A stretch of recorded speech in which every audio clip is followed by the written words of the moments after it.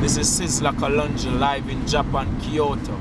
It's a Japanese tour, you know mean? 2K10. You know mean? We started yesterday, you know what I mean? And we're gonna do our second show now, tonight. I got about two weeks here. I'm doing about 14 shows to 15 shows.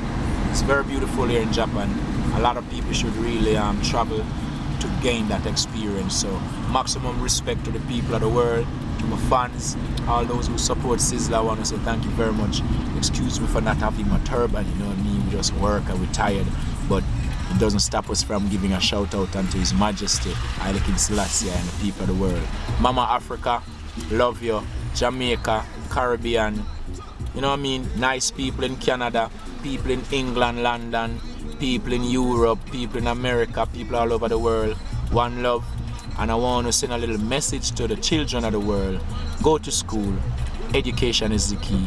Get your education and you can advance anything you want to do in the world. Bless. Japan me there. Kyoto. Blue.